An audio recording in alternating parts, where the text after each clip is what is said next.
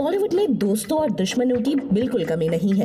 बड़े बड़े सुपरस्टार्स एक दूसरे से दुश्मनी पाल बैठते हैं। और इसी फहरिस्त का नाम है अक्षय कुमार और अजय देवगन। बॉलीवुड में इनकी दुश्मनी की चर्चा तो ज़्यादा नहीं होती, लेकिन एक लंबे समय से ये दोनों एक दूसरे के दुश्मन बने बैठे हैं, जिसकी शुरुआत हुई थी डायरेक्टर राजकुमार संतोषी की फ़िल्म खाकी से। दरअसल अक्षय कुमार और अजय देवगन दोनों ने ही पब्लिकली एक दूसरे पर इल्ज़ाम लगाया था कि इन दोनों ने ही एक दूसरे के सीन्स काटने की कोशिश की थी। ताकि सामने वाले का किरदार ऑन स्क्रीन ज़्यादा पावरफुल लगे। हालाँकि इन दोनों की ही बातों में ज़्यादा दम नहीं था, लेकिन इनकी दुश्मनी यही खत्म नहीं हुई।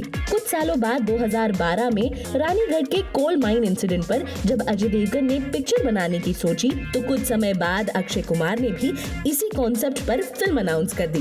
फिर क्या था? अजय देवगन एक बार फिर अक्षय कुमार से चिढ़ गए। इन दोनों के बीच मानो कोल्ड वॉर शुरू हो गया। हालाँकि कुछ कारणों की वजह से दोनों ने ही इस कॉन्सेप्ट पर कोई फ़िल्म नहीं बनाई। हमें लगा था कि अजय देवगन और अक्षय कुमार की दुश्मनी यहीं खत्म हो जाती। लेकिन एक बार फिर जब अजय देवगन ने बैटल ऑफ़ सारागढ़ी पर फ़िल्म बनाने की सोची तो करण जौहर और सलमान खान ने भी इसी कॉन्सेप्ट पर अक्षय कुमार को लेकर फ़िल्म बनाने की अनाउंसमेंट कर डाली। ये बात जब अजय देवगन को पता चली तो वो चिढ़ गए। लेकिन उन्होंने अपनी डिसअपॉइंटमेंट सलमान खान को बताई, जिसके बाद सलमान ने इस प्रोजेक्ट को छोड़ दिया। पर करण जौहर और अक्षय कुमार ने ये प्रोजेक्ट तब भी जारी रखा। और इसी के साथ जारी रही अजय देवगन और अक्षय कुमार की दुश्मनी भी। आपको क्या लगता है इस पर कमेंट कीजिए और ऐसी ही खबरों के लिए सब्सक्राइब करें हमारा चैनल